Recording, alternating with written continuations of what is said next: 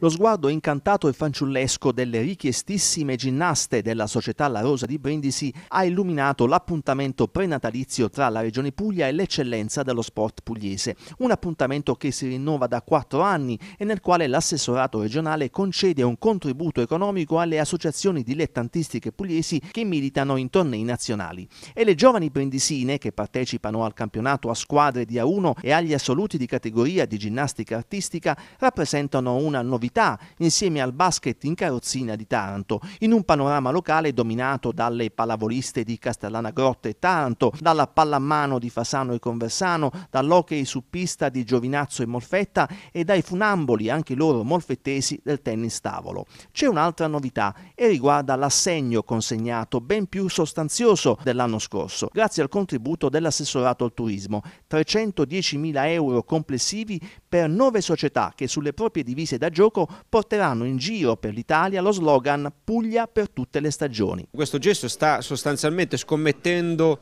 sulle potenzialità promozionali di marketing dello sport. Stiamo affidando ai nostri migliori atleti il compito anche di promuovere la nostra regione, la sua bellezza, il suo paesaggio, i suoi centri storici le sue potenzialità turistiche. Io penso che altrettante potenzialità eh, lo sport eh, le abbia anche nei confronti degli operatori economici privati, gli imprenditori, le aziende, secondo me devono riscoprire il valore di marketing dello sport. Il coinvolgimento dell'assessorato al turismo non è stato né sporadico né casuale, avendo indicato nelle scorse settimane un atleta di caratura planetaria, la tennista blindisina Flavia Pennetta, come testimonial della Puglia turistica in Italia e nel mondo. Il valore etico dello sport, ma anche proprio un valore utilitaristico, cioè l'immagine della Puglia veicolata attraverso equipaggi sportivi, quindi per me come assessore al turismo penso che sia l'ideale in questo momento, anche perché una Puglia ha 365 giorni l'anno che può essere non solo luglio-agosto, anzi